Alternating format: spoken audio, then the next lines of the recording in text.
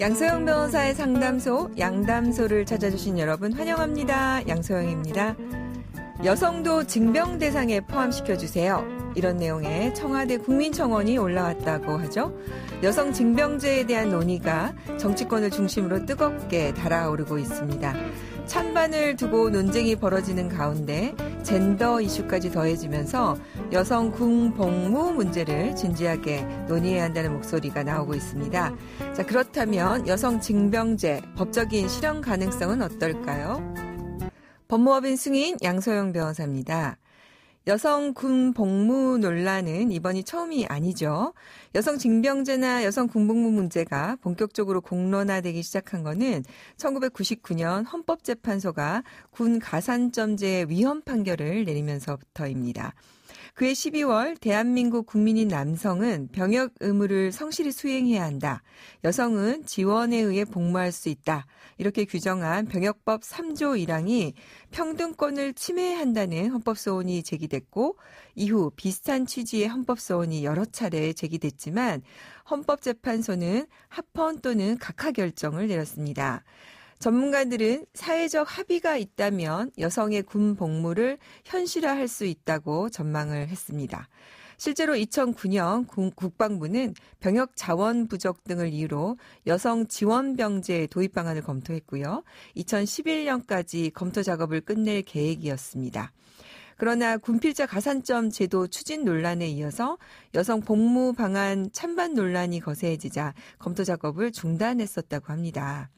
하지만 군 당국은 인구 감소로 병역 자원이 줄어들고 있는 현실을 감안해서 여성 군복무 제도를 꾸준히 고심 중인 것으로 알려지고 있습니다. 어, 해외의 경우를 한번 살펴볼까요? 해외 경우에는요, 여성 징병 제도를 도입한 국가가 북한, 이스라엘, 노르웨이, 스웨덴, 볼리비아, 차드, 모잠비크, 에르크, 어, 에르트리아, 이렇게 8개국이라고 합니다. 이스라엘은 여성이 24개월, 남성은 30개월을 각각 복무하고 있고요. 단 여성은 결혼, 임신, 종교 등으로 면제가 가능해서 실제 전체 여성의 40에서 50%만 군대에 간다고 하네요. 자, 이제 우리가 고민을 한번 해봐야 될 정말 시간이 된 것 같은데요. 여러분들은 어떻게 생각하십니까? 어, 저는 긍정적인 생각이 들고요. 사실 우리가 이런 것도 하나의 편견이고, 이제는 이런 것을 깨 나가야 되지 않을까 싶고요. 뭐, 경찰에서도 이제 여성 경찰들이 늘어나고 있는 추세이고, 어, 이런 부분에 대해서 신체적인 어, 불평등한 합리적인 차별 어, 이런 부분들을 감안해서 복무를 한다면 얼마든지 우리가 할 수 있는 부분이 아닌가 생각이 듭니다. 양담소에서 함께 나눠볼 법률 궁금증이 있다면 YTN 라디오 양소영 변호사의 상담소 홈페이지에 남겨주시면 됩니다. 화나고 답답하고 억울한 당신의 법률 고민 함께 풀어볼게요. 오늘은 안미현 변호사님과 함께 하겠습니다. 변호사 안녕하세요. 안녕하세요. 안미현 변호사입니다. 요즘 변호사님 AI란 별명을 제가 불러드렸더니 이제 자주 그렇게들 부르시는 것 같아요. 많이 유명해졌죠? 네. 그렇게 많이들 불러주십니다. 네, 명함을 이제 새기셔야 되지 않을까 싶습니다. 자, 오늘 또 준비된 사연 듣고 우리 안미연 변호사님과 자세한 얘기 나눠보겠습니다. 1년 전 카페에서 우연히 남자친구를 만나게 됐습니다.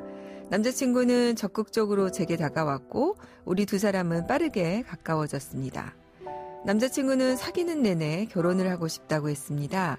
저희 부모님을 만나 인사도 드렸고 만난 지 200일쯤엔 반지를 건네며 프로포즈를 했습니다. 저는 프로포즈를 받아들였고요. 그렇게 남자친구 부모님께 인사드릴 날만 기다리던 중 제게 소장이 날라왔습니다. 기막히게도 남자친구의 아내가 제가 자신의 남편과 불륜을 저질러 정신적 고통을 입었다며 저를 상대로 민사 손해배상 청구를 한 것입니다. 저는 남자친구가 유부남인 줄 꿈에도 몰랐습니다. 그런데도 이대로 손해배상을 해줘야 하나요? 저를 감쪽같이 속인 남자친구를 향해 제가 할 수 있는 법적 조치는 없는 건가요? 결혼을 약속한 남자친구가 유부남이다. 기가 막힙니다. 정말 전혀 눈치를 못 챘을까요? 작정하고 속이는 거를 또 알아채기는 어렵고 근데 안타까운 것은 이런 사례가 특이한 게 아니라 빈번하게 발생이 돼서 상담 오는 사례들이 꽤 있다는 겁니다. 그러게요. 이게 그 의외로 또 기러기인 경우, 기러기 부부로 살고 있는 경우, 또 주말부로 부부로 살고 있는 경우, 또 이제 뭐 일정 정도는 주중에는 잘 이렇게 그 귀가 시간을 체크를 안 하시는지 뭐 이런 경우가 실제로 조금 있는 것 같아요. 정말 변호사님 말씀하신 대로 작정하고 속이려고 들면 정말 속수무책인 것 같습니다. 자, 근데 일단 소장이 왔습니다. 그러면은 남자친구 아내는 손해배상을 해줘야 됩니까? 아내에게? 지금 그 소위 상간소송이라고 하죠. 그 손해배상 청구가 상간소송에서 인정이 되려면 그 상간자라고 지목하는 사람이 네. 내 남자, 내 남편이 배우자가 있는 것을 알면서도 외도를 저질렀는가 그 부분까지 면밀하게 입증을 하셔야 되는 거거든요. 그러니까 그 배우자 이제 소송을 제기한 사람이 입증을 해야 된다는 거죠. 네, 맞습니다. 네. 근데 지금 이 사연에서는 나는 남자친구가 미혼인 걸로 알고 있었고, 그리고 나한테 프로포즈까지 하고 결혼 전제로 우리 집에 와서 인사도 드리고 했단 말이죠. 이런 사정들은 유부남임을 전혀 알기 어려웠을 사정으로 충분히 인정 가능해 보여서 이런 부분들을 적극적으로 주장을 하면 손해배상 청구에 그 따르지 않아도 될 것 같습니다. 네. 그러면 이제 우리 이 사례로 들어가서 보면 구체적으로 어떻게 입증을 하는 게 좋을까요?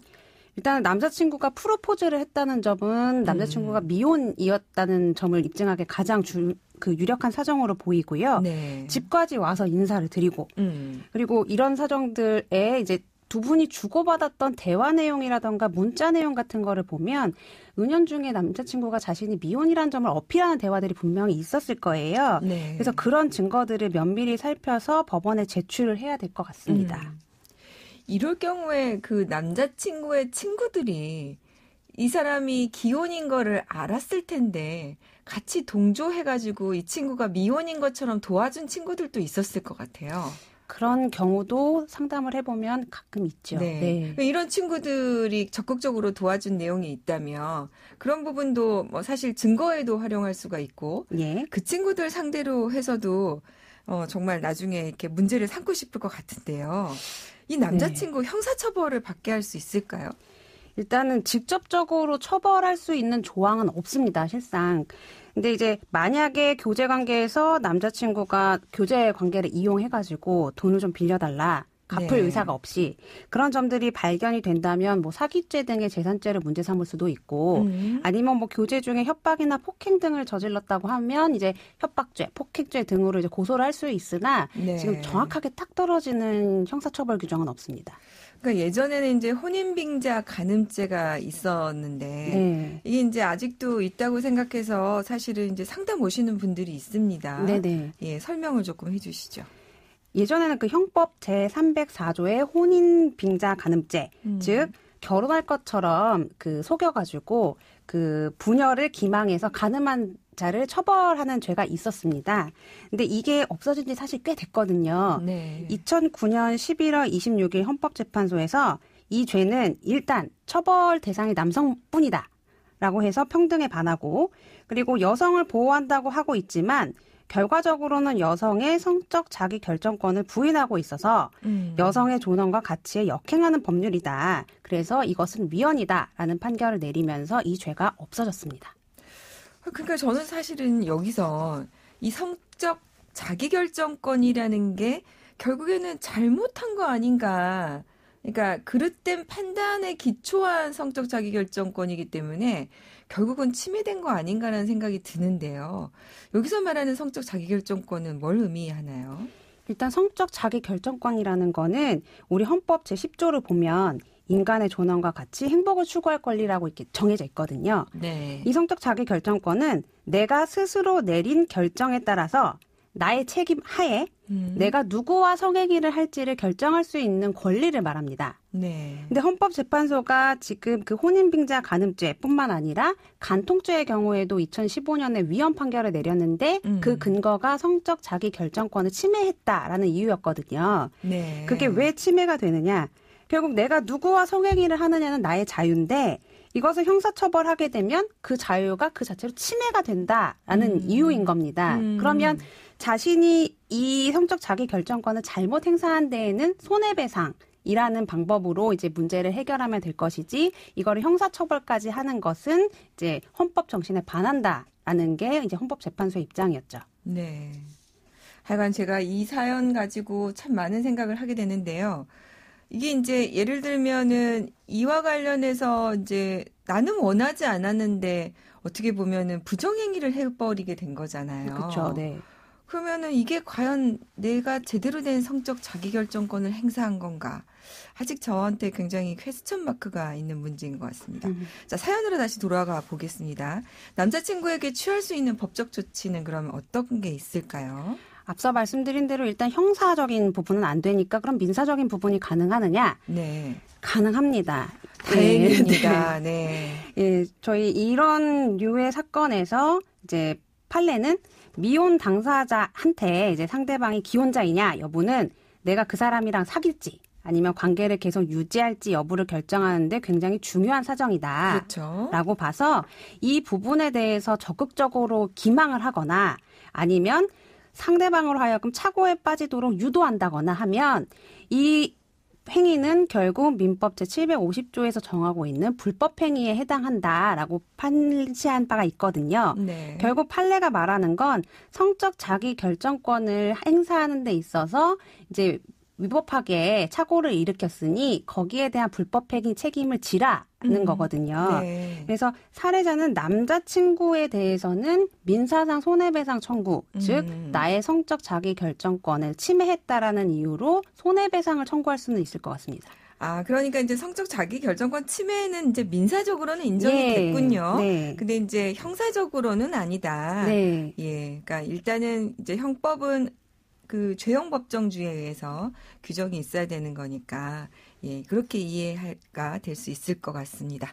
네, 오늘은 어, 많은 분들의 분노를 일으킬 만한 사연과 같이 사연을 가지고 우리 안미연 변호사님과 함께 알아봤습니다. 안 변호사님 오늘 자세한 말씀 감사드리고요. 다음에 또 자주 들러주세요. 네, 감사합니다. 양소영 변호사의 상담소 양담소는 내일 또 문을 엽니다. 끝곡 티아라의 거짓말 들려드릴게요. 양소영이었습니다.